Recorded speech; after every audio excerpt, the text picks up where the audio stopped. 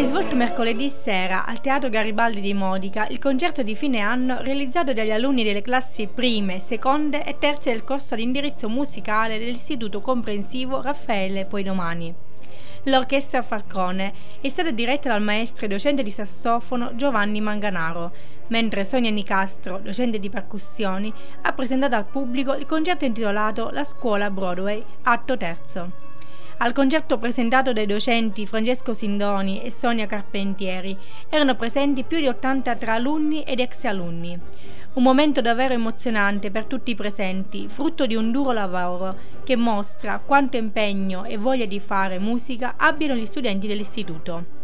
È testimonianza di questa passione per la musica, coltivata fin da piccoli, la presenza di alcuni ex alunni che hanno scelto di proseguire gli studi in questo settore ottenendo particolari soddisfazioni.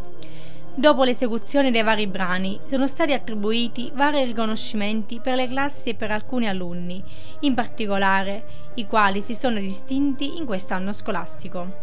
Un premio speciale è stato conferito ad Umberto Modica, il quale sa molto bene che l'istruzione è fondamentale per crescere e diventare adulti, competenti e liberi e che per raggiungere certi risultati, oltre alle capacità personali, occorrono la costanza e l'impegno.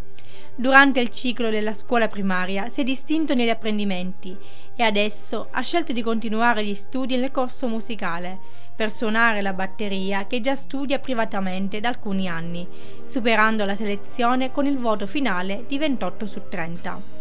Nella serata di mercoledì, l'Istituto Raffaele Podomani ha voluto premiare pubblicamente la sua costanza negli studi e la sua assidua frequenza a scuola.